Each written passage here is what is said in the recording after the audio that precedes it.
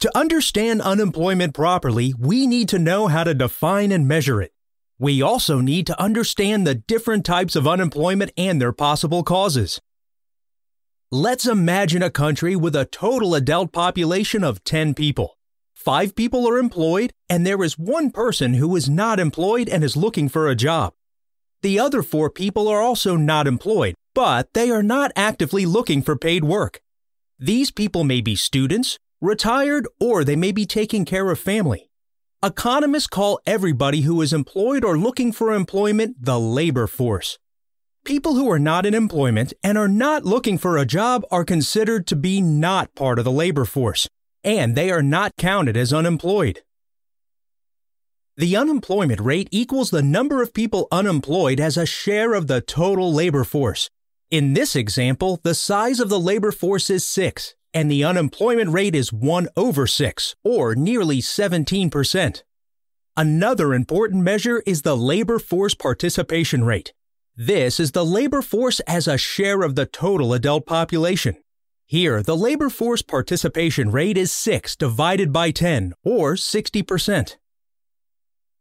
Unemployment never drops to zero. First, there are always some people between jobs and they need some time to find work that suits them. This is called frictional unemployment and consists mostly of people who are unemployed only for a short time. Then there is unemployment that results from the structure of an economy, when the skills offered in the labor market do not match the demands of employers. This may be a result of technological change, inadequate training, or wage demands that are higher than what employers are willing to pay.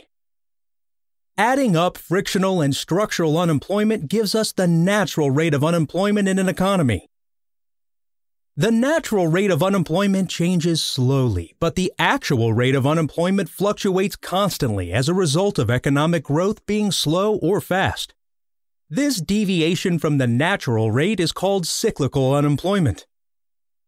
Measuring unemployment is useful, but it is not an exact science.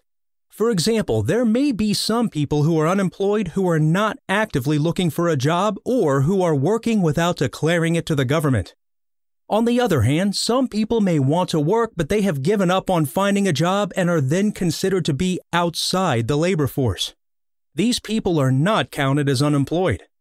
Also, some people may be underemployed. This is when they work fewer hours than they would like or when their skills are not fully utilized. With unemployment still being a problem in many countries, you can imagine that the causes of unemployment are complex and the subject of much debate. That concludes the intro to unemployment. Check our other videos for more insights. Brought to you by Sim Institute.